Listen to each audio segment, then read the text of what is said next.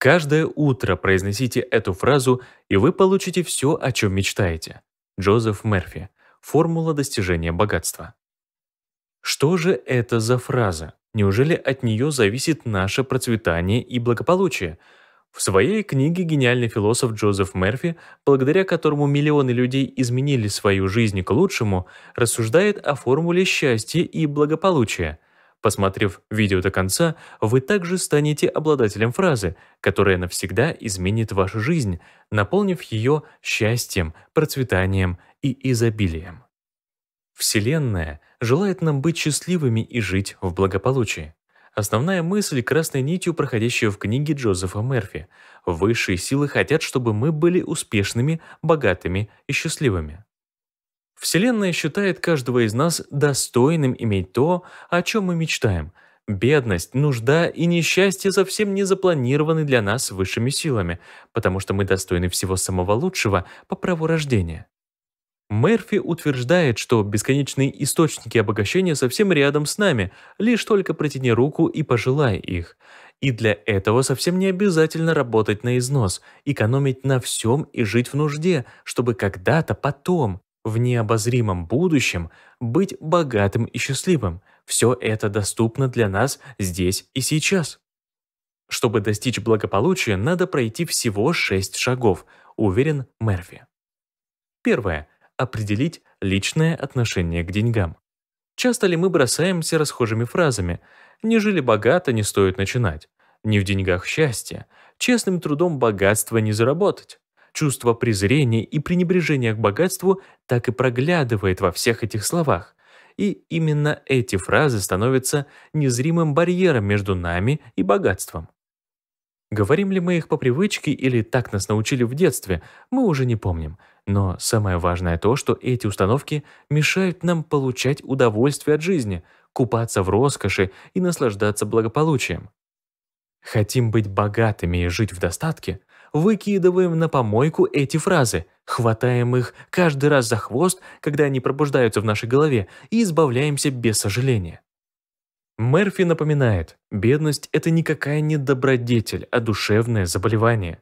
Согласитесь, если вы чувствуете себя плохо физически, то начинаете волноваться и стараетесь найти причины болезни. Вы обращаетесь к врачу или пробуете лечиться самостоятельно. Точно так же нужно искать помощи, если вы стали замечать, что в жизни нет достатка. Это тревожный симптом, означающий, что с вами не все в порядке, что-то не так. Второе. Деньги не жизненная самоцель, но требуют почтительного отношения к себе. Деньги не эквивалент успеха, они лишь средство его достижения. Все предрассудки касаемо денег, которые мы себе придумали, следует поскорее выбросить из своей жизни. Нельзя ругать или презирать богатство, иначе оно очень быстро перейдет к тому, кто относится к деньгам уважительно, а мы снова останемся в нищете и долгах. То, что мы осуждаем, к чему выказываем презрение, немедленно уходит из нашей жизни. Деньги не могут быть плохими или хорошими, грязными или чистыми. Это просто инструмент, с помощью которого мы привлекаем в свою жизнь успех и счастье. Только от нас зависит, какие явления и вещи приносят нам пользу, а какие – вред. Так почему бы не переменить наше отношение к деньгам, не презирать их, а считать одним из источников нашего благополучия? Джозеф Мерфи приводит такой пример. Один из его знакомых сетовал на то, что полностью разорен и ненавидит деньги всей душой, потому что они худшее зло в мире. Не надо зацикливаться лишь на деньгах боготворить или презирать их. Денежная энергия всегда должна находиться в гармоничном состоянии. Все должно быть в равновесии. Вот тогда будет идеальный баланс между материальным и духовным, а значит мы будем наполнены спокойствием и счастьем. Третье. Проработка денежного самосознания. Находясь по уши в кредитах и долгах и распевая мантры подобно этим «Я купаюсь в богатстве», у меня столько денег, сколько я хочу, мы словно насмехаемся сами над собой. Но ведь мы не можем обмануть свое сознание, а значит, подсознание отвергает изобилие Вселенной. Осознавая то, в каком мы положении находимся, и в то же время твердить «у меня все отлично», значит лишь усугублять и без того сложную ситуацию. Мало говорить правильные фразы, нужно, чтобы и подсознательно мы были согласны с ними, принимали их, верили в них. Что же делать тем, кто близок к финансовому краху? Договориться с подсознанием о сотрудничестве.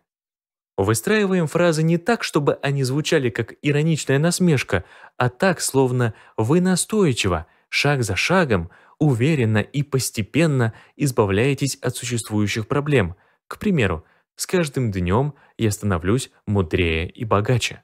С каждым шагом я приближаюсь к улучшению материального положения.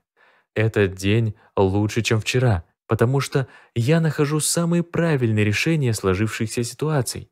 Да, мы не становимся богатыми и успешными сиюминутно. Мы понимаем, что сначала надо разрешить скопившиеся проблемы, но происходит это не вразрез с подсознанием, потому что, проговаривая правильные установки, мы обеспечиваем равновесие между сознанием и подсознанием. Четвертое. Размышление и принятие идеи успеха и богатства. Важно научиться принимать идею богатства в своей жизни – Прежде чем привлекать деньги в свою жизнь, нужно поразмыслить хорошенько над тем, что успех и богатство – бесценный подарок от Всевышнего. Они вечны и бесконечны, как сам Господь.